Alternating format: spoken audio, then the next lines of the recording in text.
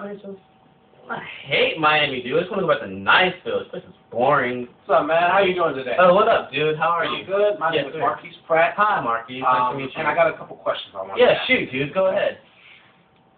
What do you think the oceans will look like in 2030? Ha! That is such an easy question to answer. Okay. See, we live in Florida. Right, right. We have nice beaches, Okay. beautiful sand, good seafood, Mm-hmm. lots of beautiful tourists that come down every year. All right. So we're going to be pretty set, pretty good, pretty solid in 2030. I believe so. Are you kidding me right now? Uh-uh. Do you not know what's go? What? Come on, what? Tell me.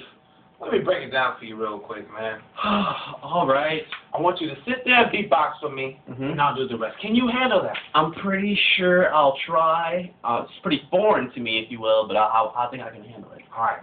Do your best. You got it. All right.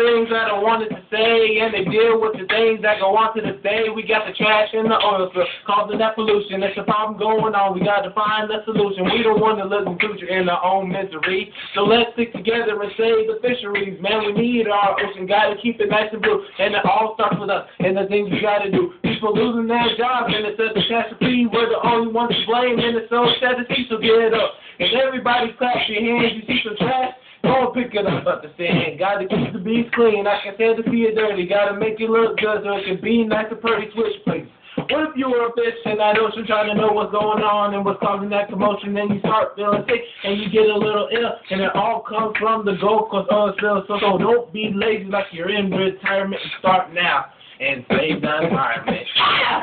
Oh, I get it now. You get it now? I finally see what's going on with the environment. Now you see. Yes, sir, I see. Thank you, Mark. You're welcome. Put it there, pal.